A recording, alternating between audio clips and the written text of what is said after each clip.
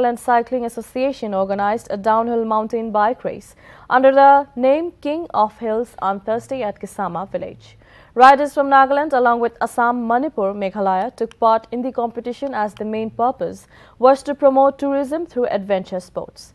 The participants rode down from the mountain top of Kisama to the Kisama main arena, covering thick forest and small trails. Furthermore, from the hardtail category, Meban bagged the winner's title with a cash prize of rupees 20,000, while from the full suspension category, Ismail Hong won the first position with a cash prize of rupees 30,000. And from the local category, Midan Kikon won the winner's title with a cash prize of rupees 5,000. Mr. Seo.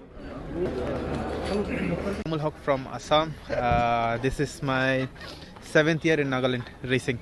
So I don't every year I come for this race and I, I make sure I never miss this race. So how do you feel? It feels great. It feels good. The race was good. The competition was good. It feels nice. My first race again started with this race only, 2015, way back in 2015. Seven years now. and I'm one of the founding members of this uh, association and also one of the organizing member. So actually, this King of the Hill series we actually started in 2019, that actual series, and we were supposed to be conducting the next series in 2020, but due to this COVID thing, we couldn't do it. And last.